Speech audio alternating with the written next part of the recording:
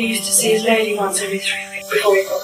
There were three of us in this marriage, so it was a bit crowded, but I wasn't in a position to do anything about it. I'm 75. I can't remember anybody except the Queen being there. I went to the top lady, what to do, what I do, and she said, I don't know what you should do. Tras la reciente pérdida de la vida de la reina Isabel II, muchos recuerdos, testimonios y anécdotas que se encontraban ocultos han salido a la luz.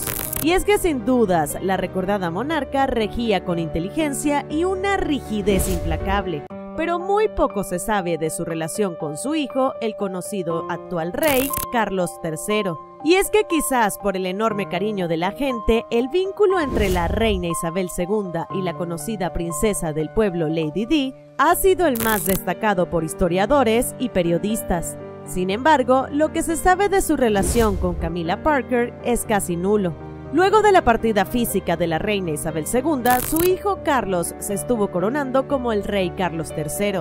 Y por supuesto, Camilla Parker, su esposa, pasó a ser la nueva reina consorte. Sin embargo, Camilla Parker no la ha pasado nada bien ni ha sido vista con los mejores ojos, pues durante la tormentosa relación del entonces príncipe Carlos con quien fuera su esposa Lady Di, Camila y el conocido hoy rey de Inglaterra ya eran amantes. Y es que lo que pocos conocían realmente era que la mismísima reina Isabel II le hizo las cosas bastante difíciles a la actual reina consorte. Y como si esto fuese poco, lo cierto es que en un principio Diana y Camila eran amigas, por lo que aquellos que atesoran el recuerdo de la princesa rebelde y más cercana del pueblo jamás le perdonarán tal mala acción y jugada a Camila Parker. Pero al final, en el corazón del rey Carlos III, Camilla Parker siempre será su única reina. Pero ahora se ha filtrado una información del mayor destrato que estuvo recibiendo Camilla Parker por parte de la reina Isabel II. Y era una regla que fue impuesta por la reina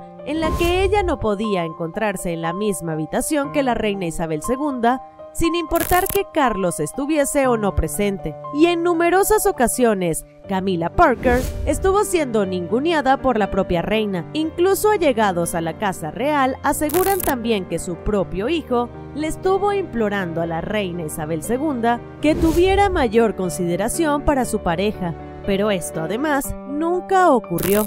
Así que entonces fue tan solo en el año 2005 que finalmente el príncipe Carlos, ahora conocido como el rey de Inglaterra, recibió la bendición de su madre y así pudo casarse con Camilla Parker. Recuerda que este es el Muro de la Fama, suscríbete y dale like a este video y no te olvides de visitar nuestros otros videos para mantenerte siempre informado de lo que ocurre en el mundo del espectáculo.